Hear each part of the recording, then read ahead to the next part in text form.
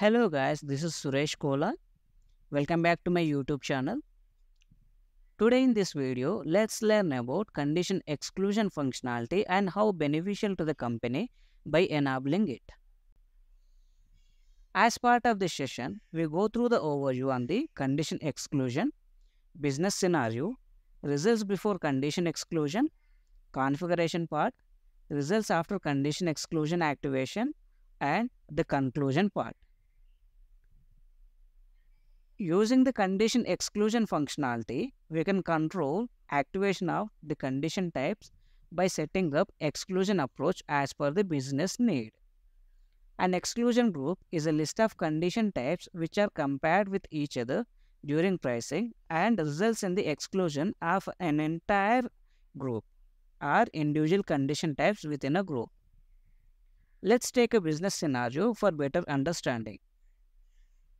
A company is into a furniture business and provides a 2% of discount for the prime customers on sale of any material. And at the same time, it provides a 4% of discount on sale of wardrobe for any customers. In the above scenario, manufacturing cost of the wardrobe is 12,000 USD and the profit margin on it is 5% on top of the cost. Hence, the selling price is 12,600 USD. Let's create a sales order and check the results before condition exclusion functionality.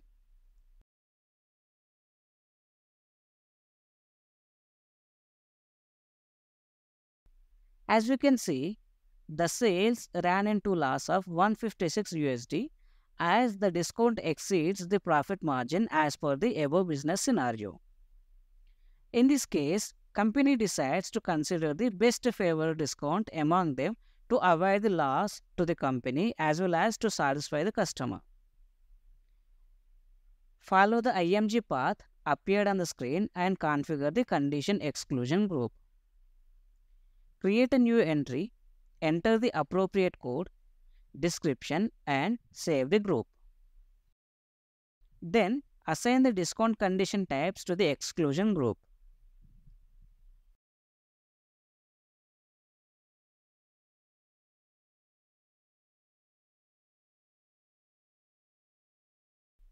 Then maintain the condition exclusion groups to the pricing procedure.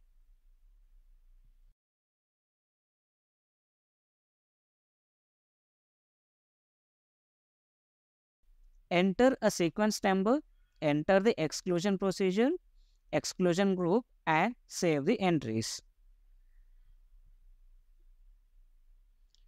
There are different exclusion procedures. For your understanding, let's discuss about three condition exclusion procedures. Procedure A Best conditions between condition types. By using this, system enables the best condition from the group of conditions. As per the above business example, we can activate the 4% of discount on sale of wardrobe. Procedure C Best conditions between two exclusion groups. By using this, system enables the best condition from the two groups of conditions. If we have two sets of exclusion groups, we can prioritize them as per the business need. Procedure L Least favorable between condition types. By using this, system enables the least condition from the group of conditions. As per the above scenario, we can activate the 2% of discount on sale of wardrobe. As part of this session, I have used procedure L, least favorable between condition types. Let's create a sales order and check for the results.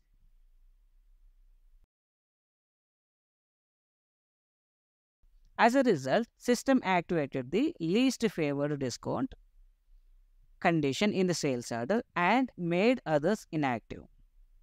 Hence, there is a profit of 348 USD.